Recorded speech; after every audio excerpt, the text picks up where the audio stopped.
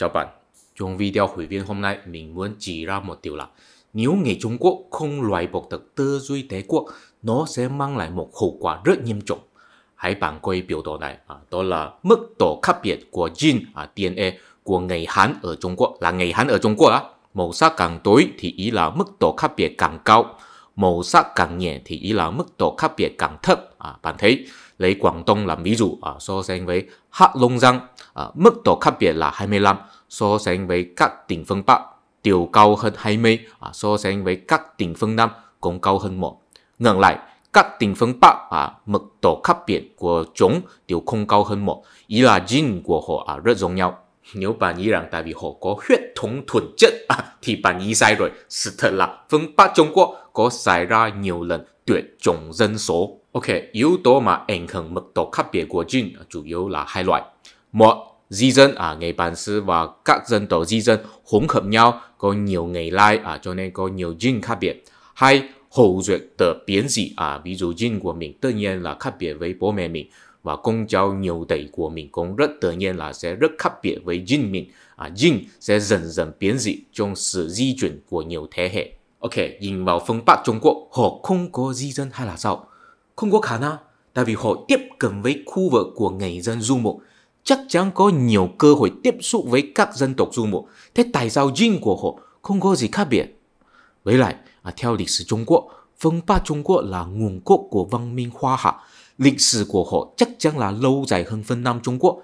Thế tại sao dinh của họ không có biến dị nhiều trong quá trình di chuyển? Chỉ có một giải thích, phương Bắc Trung Quốc từng có trải qua nhiều lần tuyệt chủng dân số, tổ tiên trung của họ đa số là gần đây mới xuất hiện. Quá trình di chuyển của họ rất ngắn, chỉ có mấy trăm năm thôi, à thậm chí chỉ có mấy mấy năm thôi, à, cho nên không đủ thời gian biến dị nhiều. Tại vì trong lịch sử Trung Quốc, mỗi lần thay đổi triều đại đều sẽ xảy ra chấn động xã hội lớn, có nhiều dân số bị chết, chỉ có một số người rất ít có thể để lại và họ sẽ trở thành tổ tiên chung của đa số người của thế hệ sau. Theo thống kê của lịch sử Trung Quốc, mỗi lần thay đổi triều đại đều có 30% đến 70% dân số bị biến mất. Lần gần đây nhất là Triều Thanh thay thế Triều Minh có 40% dân số bị biến mất và họ chủ yếu tập trung ở phương Bắc Trung Quốc cùng phương Nam Trung Quốc à, thì ít xảy ra sự tuyệt chủng dân số, à, đặc biệt là Quảng Đông và Phúc Kiến, à, cho nên tổ tiên trung của họ đã xuất hiện vào thời rất xa xưa cho nên gene của họ đã xảy ra nhiều lần biến dị trong quá trình di chuyển rồi. Thế tại sao có sự khác biệt này? Khảo sát lịch sử, chúng ta biết rằng tại vì trình độ quan liêu hóa ở phương Bắc nhiều hơn phương Nam, tác dụng của hệ thống đế quốc đối với họ là nặng hơn phương Nam. Ok, chúng ta biết rằng trong lịch sử nhân loại, kết quản lý có hai cực đoan, một bên là tự trị, một bên khác là quan trị. Tự trị ý là mình quản lý mình à, tổ chức mà có trình độ tự trị cao nhất là bộ lạc hay là công xã nguyên thủy à, lãnh thổ nhỏ nhỏ à, mỗi người tự quản lý mình. Nguyên tắc của nó à, tổng lại là để người bản xứ quản lý bản xứ. Quan trị ý là để quan liêu quản lý mình à, tổ chức mà có trình độ quan trị cao nhất là đế quốc à, có lãnh thổ lớn à, hoàng đế bổ nhiệm quan lại đi quản lý địa phương. Nguyên tắc của nó tóm lại là để người ngoài lai quản lý bản xứ. Nếu bạn xem xét lịch sử thì có thể phát hiện những quốc gia thuần lấy hiện đại hóa đều có lịch sử phong kiến rất lâu dài. À, khi mình nói về phong kiến, à, mình là nói về một chế độ cụ thể nói riêng, à, không phải chỉ thời đại truyền thống nói chung. À, đó ở Trung Quốc chỉ có tồn tại trong nhà Chu, còn ở phương Tây là tồn tại từ thế kỷ 5 đến 15. À, sau đó chúng xài 300, 400 năm nữa mới phát hiện ra quốc gia hiện đại. Ở Nhật Bản, à, trước khi thế kỷ 19, họ đã thuộc về chế độ phong kiến từ thế kỷ 80. Nguyên tắc phong kiến chính là để người bản xứ tự quản lý bản xứ. Cùng những quốc gia rất khó hiện đại hóa, à, ví dụ nước Nga và Trung Quốc, đều có một lịch sử đế quốc lâu dài, tại vì họ là dựa vào quan lại quản lý bản xứ, họ không thể phát triển ra một nhóm người tinh hoa ở cơ sở địa phương. Họ luôn luôn phải dựa vào chính phủ Trung ân quản lý, cho nên họ luôn luôn hy vọng có một hoàng đế xuất hiện mới cảm thấy an toàn và cảm thấy quốc gia đã mạnh mẽ rồi. Họ vẫn không thể loại bỏ được ước mơ đế quốc, tư duy đế quốc. Đầu tiên, chúng ta nên tìm hiểu rõ hơn về chế độ phong kiến. À, lấy phương Tây làm ví dụ, à, khi bắt đầu, người dân châu Âu chủ yếu là sinh sống ở khu vực gần địa Trung Hải. ở đây có phát triển nhiều thành bang Hy Lạp và sau đó có đế quốc La Mã và ở phương Bắc của đế quốc La Mã, người dân ở đó vẫn chưa phát triển lắm, à, chỉ có nhiều bộ lạc thôi, họ được gọi là bộ lạc German. Nhưng đến thế kỷ 3, những bộ lạc German bắt đầu di chuyển đến khu vực Tây Âu bây giờ. Khi họ di chuyển, à, tất nhiên sẽ có xung đột với đế quốc La Mã và người bản xứ Vương quốc ở bên đó. Sự di chuyển của họ à, không có một chính phủ trung ân chỉ huy à, quá trình rất rầy rạc. À, dù sao, đến thế kỷ 9, ở khu vực Tây Âu có xây dựng nhiều chính quyền. Thế lực của đế quốc La Mã không còn ở khu vực này nữa, mà những chính quyền rời rạc đó có mối quan hệ phong kiến. Mối quan hệ phong kiến là, ví dụ, à, có một chính quyền, à, người lãnh đạo của chính quyền đó được coi là một chư hầu. Chư hầu đó có thể xác phong mấy người làm hiệp sĩ của mình và mình sẽ trở thành lãnh chủ của mấy hiệp sĩ đó.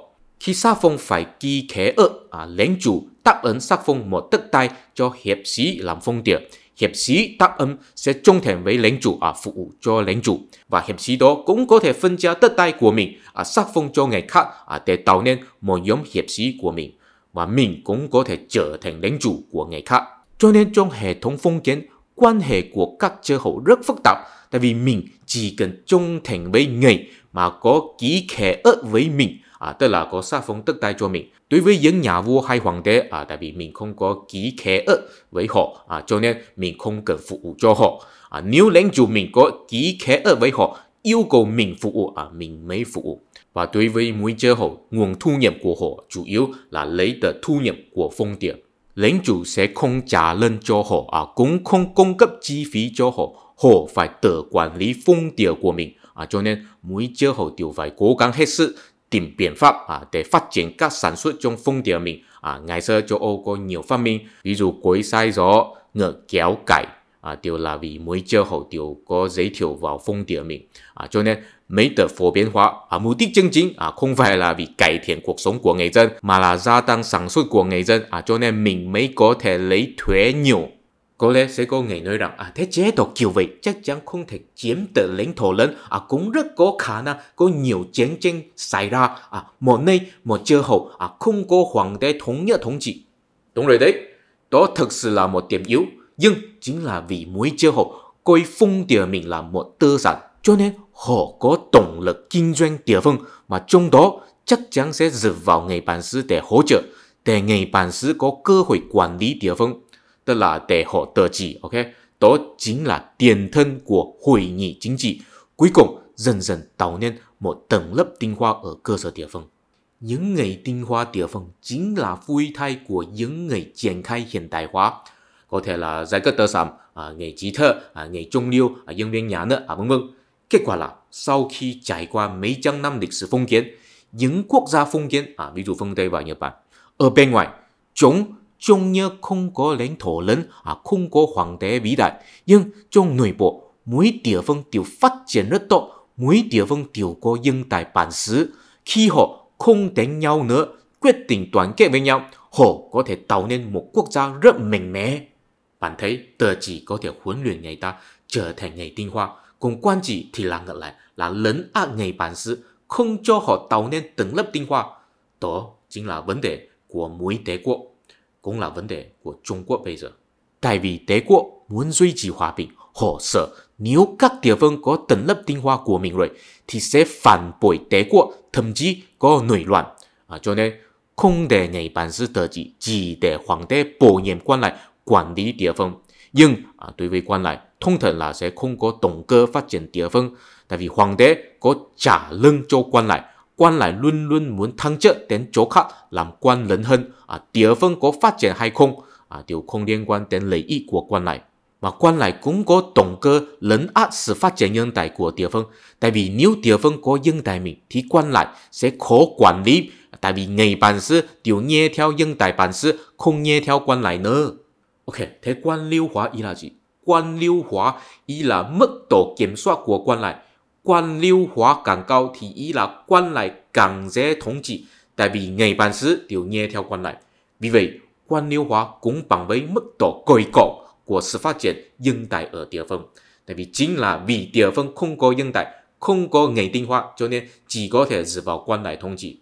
Nếu bạn xem xét lịch sử Trung Quốc, có thể phát hiện nó có xu hướng là càng ngày càng trung ân hóa, ý là sự kiểm soát của quan lại ở địa phương càng ngày càng nặng.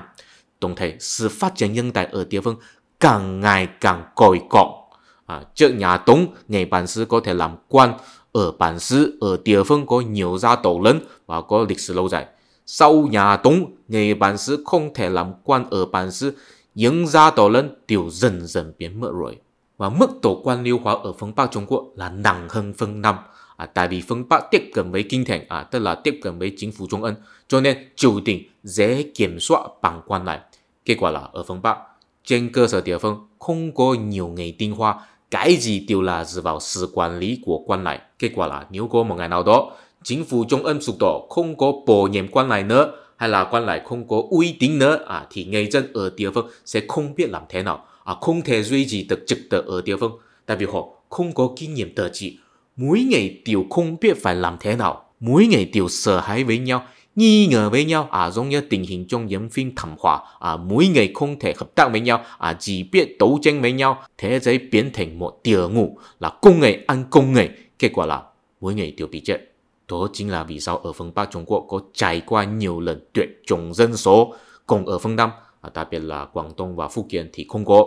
Tại vì chúng là cách xa với chính phủ Trung ương à mức độ quan liêu hóa rất ít. Ở địa phương vẫn còn nhân tài và người tinh hoa của mình khi chính phủ Trung ương sụp đổ à xảy ra cuộc thay đổi triều đại, họ cũng không sợ có thể tự trị, tự duy trì tự trực tự. Nhìn vào Trung Quốc bây giờ, mình có thể khẳng định họ có xu hướng là cố ý quan liêu hóa địa phương. Tại sao mình có thể khẳng định? Tại vì sự ra mắt của Tập Cận Bình, à, người Trung Quốc ủng hộ Tập Cận Bình làm tân hoàng đế chính là vì sự phát triển nhân tài trên cơ sở địa phương Trung Quốc rất tệ, còi cọ. Họ không có năng lực quản lý mình, cho nên mấy hy vọng có một chính phủ trung ương mạnh mẽ. Bây giờ cái mà Tập Cận Bình đang làm chính là thỏa mãn ý tưởng như vậy. Thật ra à, sau khi Trung Quốc triển khai cải cách kinh tế, tại vì xã hội có phát triển à, đã dần dần tạo nên một số nghề tinh hoa ở địa phương rồi. Họ là tập trung ở những khu vực phát triển à, đặc biệt là Quảng Đông và Chiết Giang. Chính là vì có những nghề tinh hoa xuất hiện ở địa phương, làm cán bộ địa phương khó chấp hành chính sách trung ân, làm yếu năng lực kiểm soát của chính phủ.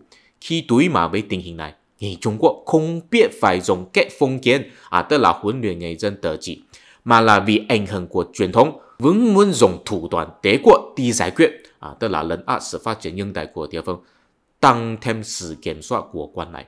Bạn thấy sau khi Tập Cận Bình làm chủ tịch đó, những vận động đến tham nhũng, thật ra mục đích chân chính đều là vì muốn loại trừ những nghề tinh hoa vừa mới phát triển ra ở địa phương.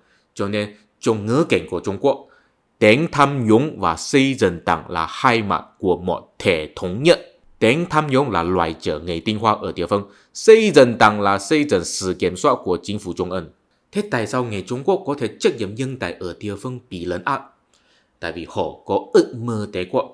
Khi xã hội mới sản xuất một nhóm người tinh hoa, những người tinh hoa chắc chắn sẽ có đấu tranh với nhau và khiến một số sự rối loạn xảy ra.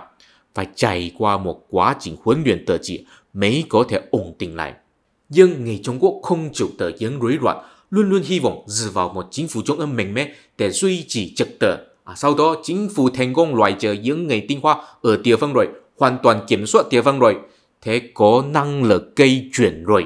Tức là đi thu phục Đài Loan à, và người Trung Quốc cũng rất ủng hộ à, họ có ước mơ đế quốc nhưng họ không có ý thức là họ sẽ trở thành tổ cúng cho ước mơ này à, bây giờ Trung Quốc vẫn tiếp tục chính sách zero covid chính là vì muốn thao luyện các cán bộ địa phương để họ càng ngày càng có năng lực kiểm soát được địa phương cũng là tăng thêm năng lực kiểm soát của chính phủ Trung ương và trong tương lai nếu chính phủ muốn động viên toàn xã hội đi chiến tranh thì không sở thiếu tài nguyên à, hay là địa phương có sự rối loạn xảy ra à, thế bạn có thể tự từng từng một chút à, nếu trong tương lai Trung Quốc không thể thu phục Đài Loan và vì đã dành nhiều tài nguyên trong chính sách đối ngoại à, làm quốc gia cản tiền à, có rủi ro sụp đổ và cán bộ không thể kiểm soát được địa phương rồi.